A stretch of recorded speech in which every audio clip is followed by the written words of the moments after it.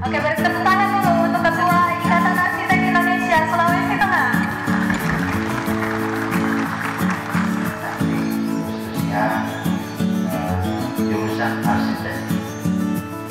Hadirin dan hadirin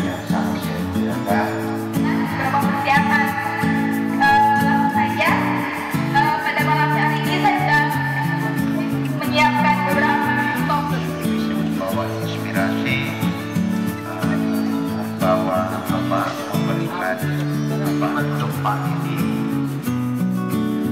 kurang lebih 55 ribu memiliki vaksin.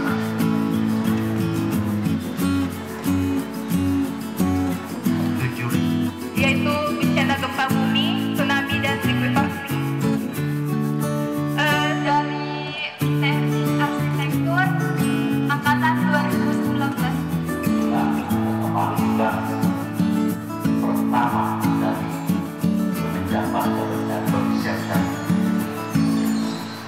40 ribu jiwa lebih itu ya 300 sekitar 300 kepala keluarga masih berada di shelter atau di tenda-tenda. Kenapa saat ini masih di tenda?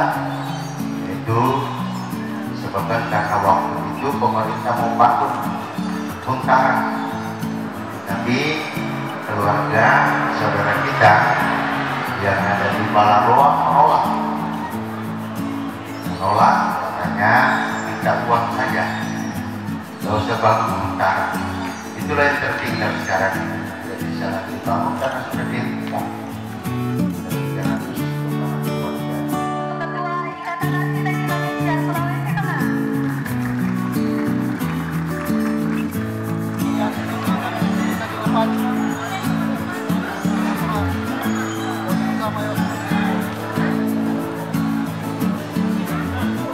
yeah, yeah.